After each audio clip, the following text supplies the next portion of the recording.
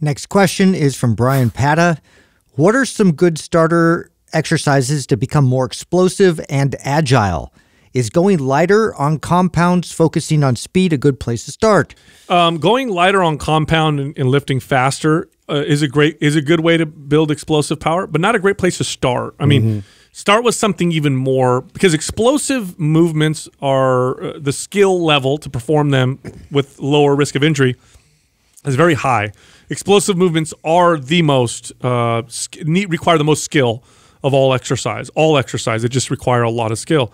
So start real basic. Um, jump in place. I mean, say your body weight is is a great place to start. just yeah, it's basically everything you've been doing, but now we got to add acceleration. We got to add speed, uh, you know, elements there to.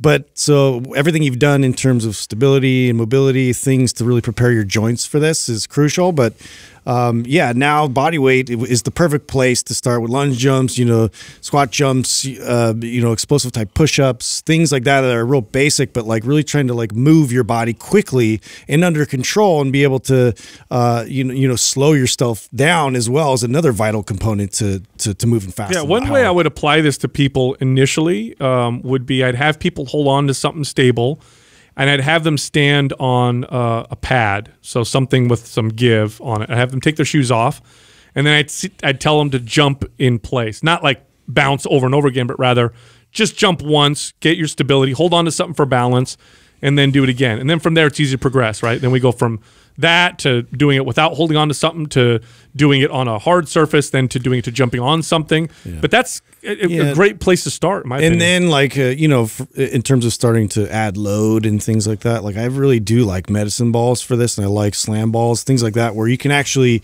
you know just push and, and press and accelerate something that seems like it's pretty natural for you to, to throw something into the wall or throw something into the ground uh, and get speed it's about organizing your entire body to move with it and move quickly so uh, you know before we really start getting into then you know complicated olympic lifts where you got to use the barbell to move the barbell in a certain uh, linear path it's really hard to do to organize your body Check out uh, this kid Alex. Uh, his Instagram page is Real Game Period Athletics. oh he's awesome Um, I've been actually trying to uh, track him down and get him on the YouTube channel to actually create some content uh, around this exact question because I think most of his page is like literally dedicated to this, and I think it's a it's a great place to start. Most all of it is all body weight uh, movements, but I I love the way he teaches guys like incredible uh, mechanics. super smooth too Oh, like, yeah. it makes it look effortless and I, that's really the goal of this is to you know uh, be able to, to stop in a really smooth and organized way and have like a lot of control with this as well